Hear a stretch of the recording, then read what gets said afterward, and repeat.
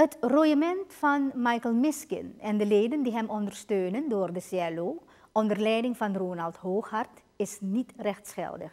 Dit stelt het CLO-collectief in reactie op de besluiten die zijn genomen in een algemene ledenvergadering die Hooghart op 16 oktober had belegd.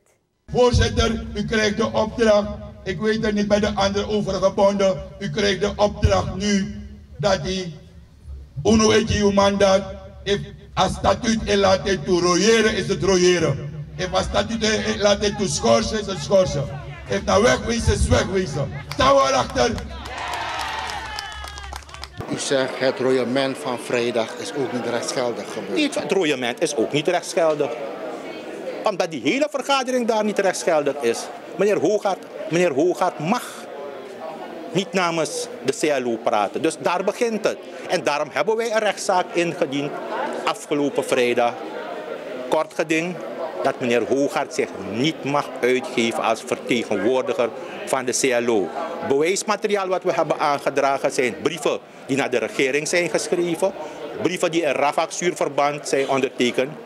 En het oproepbericht dat naar de pers is gegaan is ook een bewijsstuk. En ook de brief naar de vicepresident waar hij heeft gevraagd om ondersteuning voor die vergadering. Dat allemaal is in het kortgeding, of tenminste meegestuurd als bewijsmateriaal voor het kortgeding.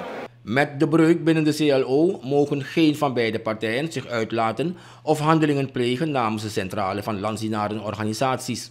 Wij hebben niet vergaderd namens de CLO. Meneer Hoogaard heeft niet het recht te vergaderen namens de CLO. Wij hebben ook niet het recht om te vergaderen namens de CLO.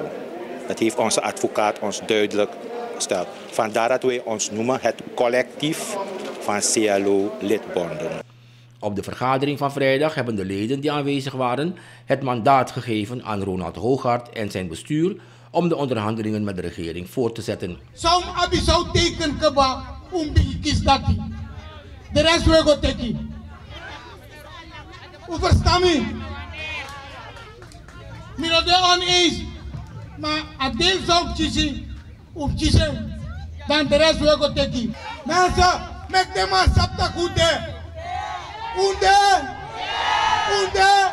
Middels een motie die vandaag is aangenomen door het CLO-collectief zijn de besluiten van vrijdag nietig verklaard.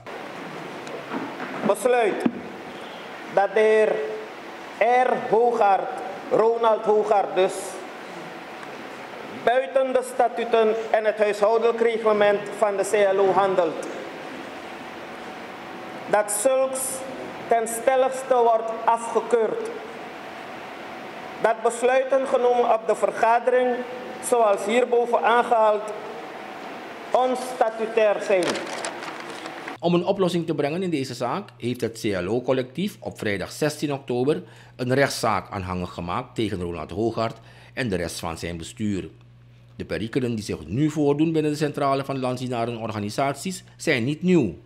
In 1994 was er al een soortgelijke situatie Enkele leden die vandaag aanwezig waren op de persconferentie van het CLO-collectief geven aan dat de huidige situatie niet bevorderlijk is voor de ambtenaren.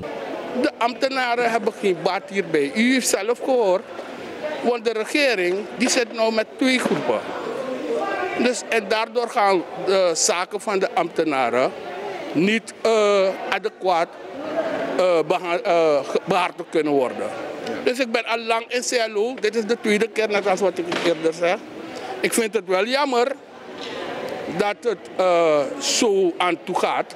Ik hoop dat er een verandering ook aankomt. Ik denk richting verkiezingen gaan. Enigste richting verkiezingen.